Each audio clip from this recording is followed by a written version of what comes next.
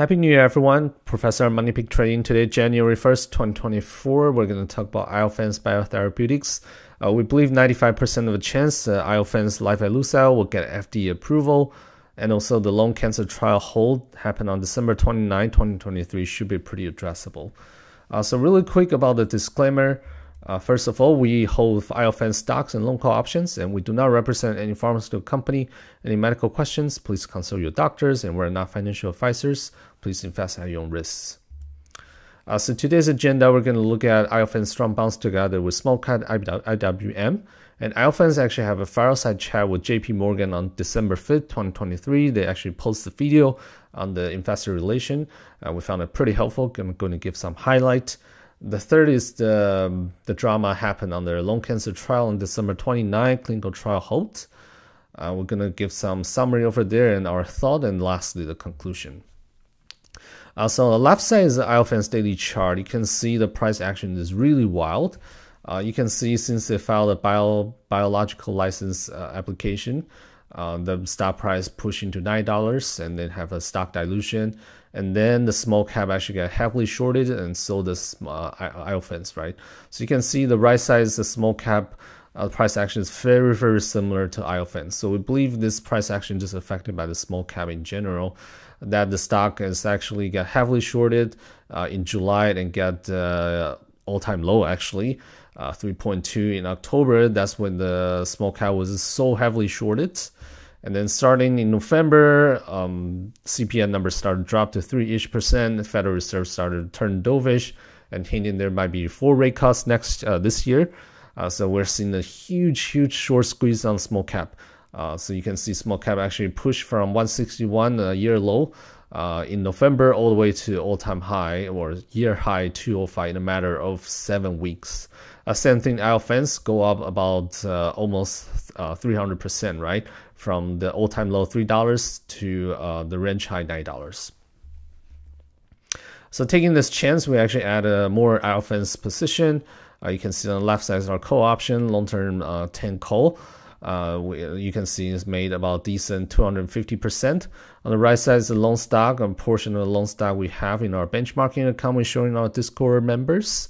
Uh, that we actually traded with $65,000 and uh, at the end of 2023 this account closed at uh, 110,000 for uh, and 7,000 sorry one $110,000. So we are making a pretty decent 55% uh, gain uh, last year. So really, really decent long-term investment uh, portfolio. And Iovance is one of the holding. And you can see the Iovance is all doing pretty well. And uh, taking this chance of the small cap madness, we also um, loan some fintech, highly shorted Upstart, UPST. And you can see on the left side is a long call option where you make about 460%. And on the right side is a long stock on the Upstart uh, in our benchmarking account, make about 40%, pretty decent. Uh, if you're interested in our Discord server, uh, we show all these alerts real time. Uh, feel free to check out on www.moneypigtrading.com. And we also occasionally send out those alerts um, on our Twitter. Uh, so make sure to follow us on Twitter at Money Pig Trading. Uh, this is one of the UPST uh, short squeeze swing trading small cap example that uh, we make 120% um, as of December 14. So the second is a fireside chat update, and we found it very interesting. So let's take a look. This is a screenshot, and you can see the Iovance uh, interim CEO, uh, Fred, I was talking to Rennie at JP Morgan. And a lot of words. I'm going to guide you through this. Uh, so first, uh, the interim CEO, Fred, actually made a lot of FDA review updates. So that kind of answered a lot of our questions uh, that we have been discussing and also email Iovance. So first, uh, FDA apparently has finished the manufacturing inspection in both Iovance site and WuXi sites, which is a great news because uh, TIL therapy is a pretty complicated uh, manufacturing process. So uh, we always think this manufacturing inspections has the greatest risk. Uh, but since it's completed, we found it pretty comfortably thinking that this um, LiFi will get approved. Uh, and then the interim CEO seems to show the same optimism. Uh, what they said is basically the last pending conversation with FDA is the labeling. Uh, they believe the best labeling case is to get the cohort 4 and cohort two plus four, which will make the commercial launch easier. And how, if Lifi really get uh, FDA approval, how the price action uh, will behave upon this potential approval is really depend on the labeling. Uh, the better the labeling, the easier the labeling to make the commercial launch more successful, the higher the price action will be, right? So, uh, even though we are now predicting 95% of a chance uh, will get approval, the labeling is the difficult part that we don't have the data to basically make a prediction like what kind of labeling FDA will put there. So that's definitely something we'll have to put an eye on once uh, the approval news come out. FDA send out an announcement. And the third thing is most T cell therapy uh, actually got approved 30 to 45 days earlier than the PDUFA day. Uh, that's what the interim CEO said. Uh, so basically, the current PDUFA date now unfortunately got extended to February 24, 2024. So if you're accounting 30 to 45 days earlier, that we're looking at somewhere between December 26th last year uh, to January 10, 2024. And the other positive news we found really encouraging is currently that 600 patients are being treated with uh, lifileucel. So we found that's a pretty wild uh, application already that a lot of patients are using it. Uh, the Fred, in interim CEO, also said a lot of patients are actually waiting uh, just for FDA approval. So we definitely hope not only FDA approval potentially can help the shareholder, but most importantly, helping the melanoma patients, right? So definitely hope FDA can speed up, do not delay it any longer. Uh, the fifth thing we also found pretty encouraging is uh, the CEO mentioned 90% manufacturer successful rate, uh, which we found very critical because if the manufacturer success rate, let's say, is 60%, right, then um, our valuation market cap might have to be adjusted. But 90%, we found it with this complicated manufacturing process, we found it pretty decent. And also, the CEO is pretty confident that Lifi will become the frontline melanoma treatment at some point in the next few years, should it get the first approval this year. And uh, the, the other good news we found we like is the runway. Uh, currently, they have 320 to 350 percent uh, million cash burn this year. Uh, so they they should have enough cash until 2025. However, uh, should they get approval somewhere sometime now until the, uh, February this year, and that's the stock price pushed to 18 to 30 dollars. We do think they might uh, do another stock or dilution round uh, to raise more capital uh, until 2025. And lastly, they do mention the partnership. Uh, they prefer to launch themselves in US and European Union. Uh, just by themselves, so potentially no partnership. But they said uh, for ex-US, they are definitely open to ideas about partnership, uh, but they are pretty uh, selective on partners. Um, they are also pretty open to acquisition when JP Morgan acts. So that's also potential good news since this uh, industry is known for a lot of merger and acquisition. And potentially that's also the best exit for the current stockholder is to have a pretty decent acquisition, right? So we, yeah, we found this fireside chat very, very uh, interesting. So this is the highlight. And based on the conclusion that we just made already, that we believe 95% of the chance uh, Iovance lifileucel will get FDA approval. But label, again, will be the key. We are not sure what kind of labels FDA will put there. Uh, that is something that we're not uh, need to keep an eye on. Uh, third is about the lung cancer drama. Let's take a look. So unfortunately, on December 27, 2023, um, Iovance uh, lung cancer Coral 1 and 2 clinical trial got halted.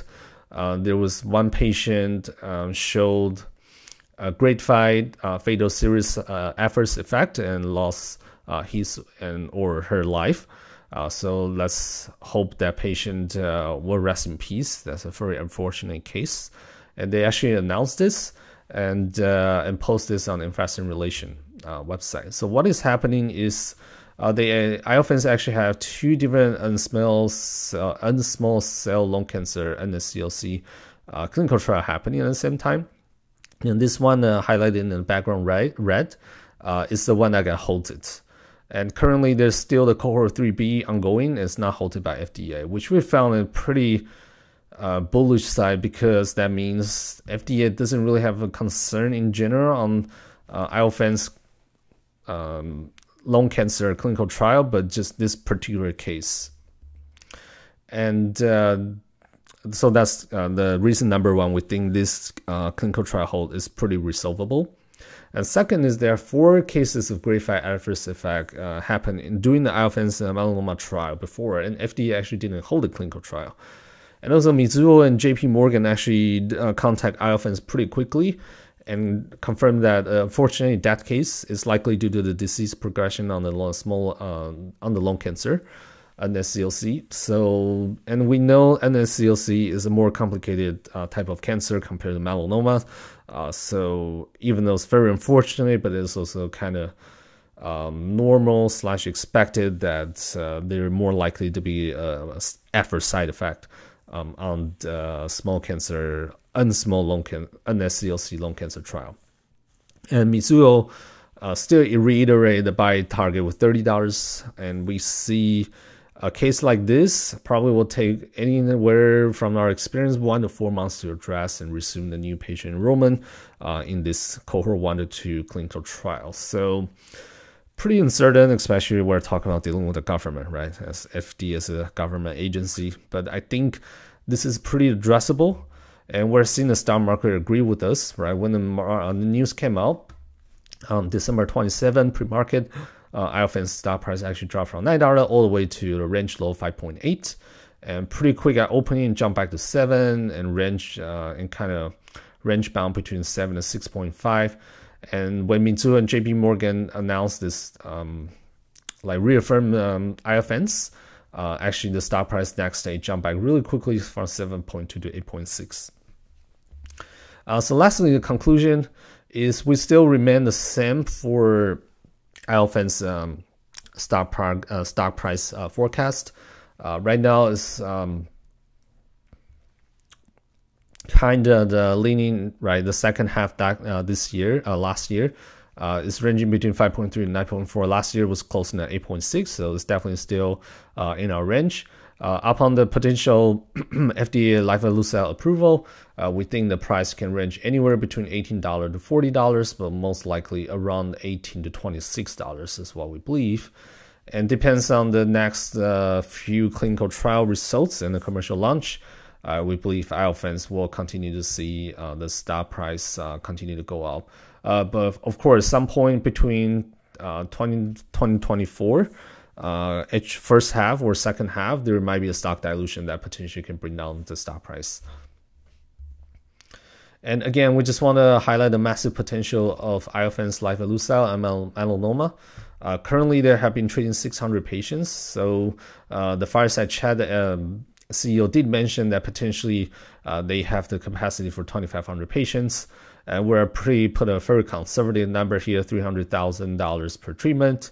Uh, that will bring the valuation to 4.5 billion or 18.2 uh, dollar per share with the existing share uh, total share pool. Uh, however, uh, their CEO did mention there are a lot of demands. Uh, so potentially, and they have the capacity to um, expand their manufacture to 5,000 patients relatively quickly. And if that can should that happen, we're looking at $36.4 per share. Uh, consider right now still sitting at $8 per share. Uh, the improvement to 18 or $36 will um, present a really, really handsome reward, right?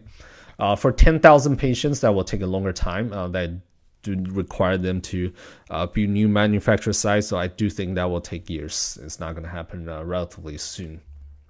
So again, we reaffirm Iovance target 18 to 26 dollars upon uh, lifileucel's approval, and 95% of the chance we think it will get approved, and the rating is still a buy. So thanks for watching, and uh, we do put the risk of the invest Iovance here, and we're gonna put the link of the previous video that we talk about all the risk uh, in the upper right corner.